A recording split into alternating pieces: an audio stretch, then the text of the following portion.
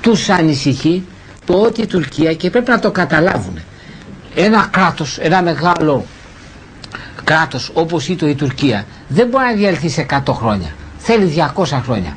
Θα διαλυθεί όμως.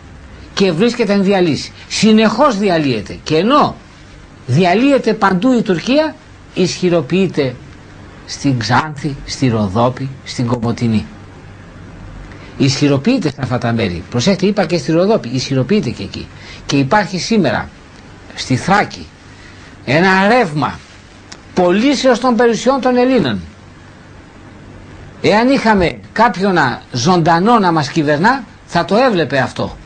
Και να μην κρυβόμεθα πίσω από το δάχτυλο. Και λυπούμε που οι μυστικές υπηρεσίες δίνουν αναφορές αλλά κανείς δεν τις υπολογίζει. Οι Έλληνες φοβούνται, εκποιούν τις περιουσίες τους. Λίγοι είναι οι Ελληναράδες που θα μείνουν εκεί και θα θυσιαστούν. Οι Τούρκοι χρηματοδοτούνται και αγοράζουν γη. Μέχρι και προχθές έδιναν τους Έλληνες και μπήκανε με το έτσι θέλω. Πού; στην Ελλάδα οι Τούρκοι με το έτσι θέλω να καλλιεργήσουν τα ελληνικά χωράφια και εμείς τρέχαμε στο μονομελές πρωτοδικείο με τη διαδικασία των ασφαλιστικών μέτρων να λύσουμε τις διαφορές μας με τους Τούρκους.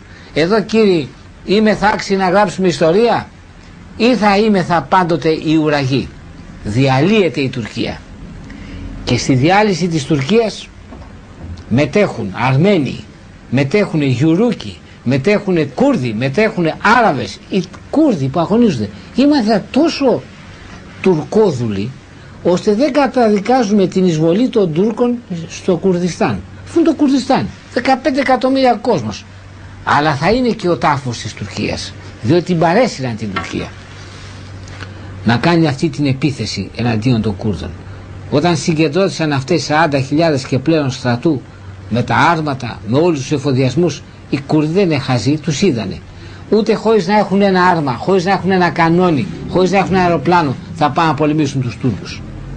Έχουν σύμμαχο, φυσικό σύμμαχο, την χώρα τους, η οποία είναι ορεινή, ανήλθον στα όρη και άντε να τους βρεις και συνέχεια οι Τούρκοι θα αιμορραγούν. Στρατιωτική λύση δεν θα μπορέσουν τα μεχμέτια να επιβάλλουν στους Κούρδους. Οι Κούρδοι είναι πολεμιστές, είναι οι αρχαίοι καρδούχοι, τους αναφέρει ο ίδιος ο Ξενοφών. Και μαζί τους είχαμε και προβλήματα.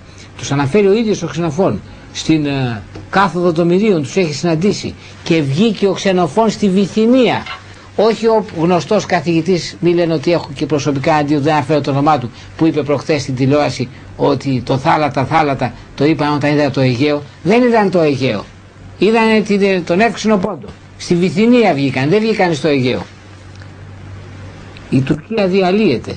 Πώς να σταθεί αυτή η πολυφιλετική, η πολυεθνική χώρα η οποία σήμερα συγκρατείται χάρη στην ύπαρξη ενός στρατού. Ισχυρού στρατού, ο οποίος όμως ισχυρός στρατός είναι να τα βάζει με τους αμάχους, να τα βάζει με τα χωριά, να σκοτώνει τα παιδάκια και να τα καίει υπό τα υποκριτικά βλέμματα των διεθνών οργανισμών του ΝΑΤΟ, των ανθρωπίνων δικαιωμάτων. Πού είναι εκείνοι οι Βάντερ Στούλ, οι Βάντερ Μπρουκ και όλοι αυτοί που ψάχανε μήπως καταπιέζουμε τους τσάμιδες εμείς και λέγανε για τις μειονότητες στην Ελλάδα. Τι γίνεται με τους Κούρδους τώρα; Δεν ενδιαφέρεται κανείς. Να η διεθνής υποκρισία και να οι διεθνείς συγκυρίες. Διότι δεν υπάρχει καν διεθνές δίκαιο. Υπάρχει